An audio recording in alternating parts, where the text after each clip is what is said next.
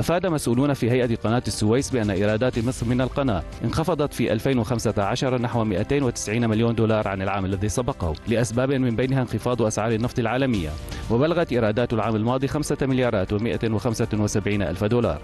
يأتي ذلك رغم ارتفاع عدد السفن المارة في قناة السويس خلال 2015 بمقدار 358 سفينة ليصل إلى نحو 17500 سفينة.